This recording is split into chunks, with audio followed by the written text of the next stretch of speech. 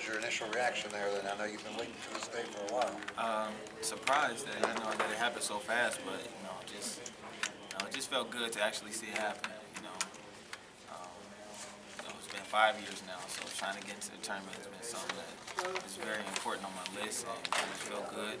Uh, ready to get out there and play that first game. What have you been like today?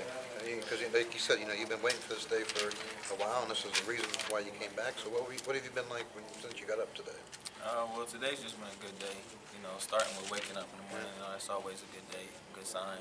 Um, but I just felt good that it was Selection Sunday and that, you know, I would see our team, you know, being, being called today. And, you know, today was the first day I practiced, so, you know, it was another positive note. And, you know, I'm just, I'm feeling good today. It's been all positive.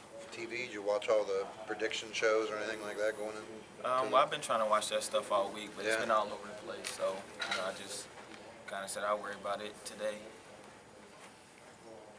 Were you paying attention to the bracket? Yeah, I was paying You're the first 12-5 seed, they automatically call that a 12-5 upset. Um, we're not really paying attention to anything like that, you know.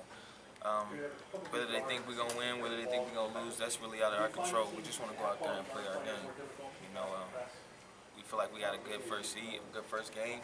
Um, definitely want to go out there and impose our will on Buffalo, and uh, we feel like if we win the first game, then we have a pretty good chance in our second one. Um, you know, obviously because you don't have that much time to prepare for what we do. You said you practiced today. How did it go today? How'd you feel?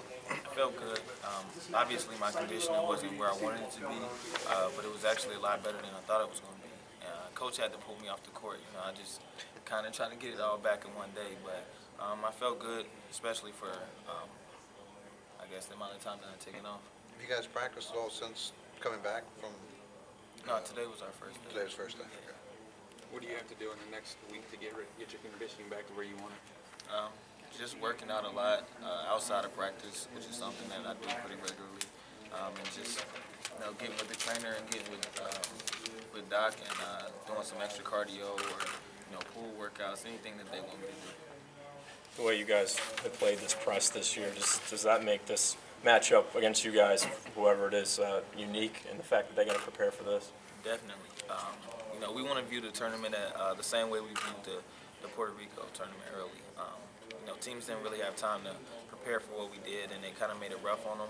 Um, and that plays right into our hands because we really don't want to change the way that we play for anybody. So uh, we're kind of we're looking for that, that same effect. And uh, like we said, if we can get this first one, we feel like we have a pretty good chance to get the second one just because of those factors. I'm guessing it's like an hour and a half, two hours between Dayton and Columbus, or Just an hour. hour? Yeah.